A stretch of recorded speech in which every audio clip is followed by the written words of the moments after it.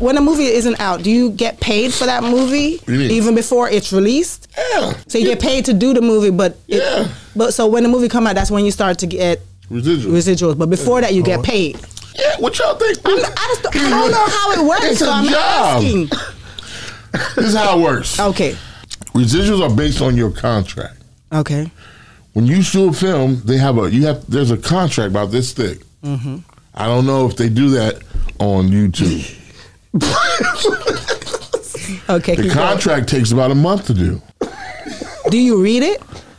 Everybody reads it. You give it to your lawyer to read. You're not sitting down and reading. I it. gotta read it too. We got- What if he's money? Okay, Shit, just you better. This ain't rapper uh, 80, 1983. Like, yeah. Uh, uh, uh. You got to learn to read this shit Okay. and what it means. Okay. What favorite nations mean. What um, because there's a lot of shit in the contract you can't do.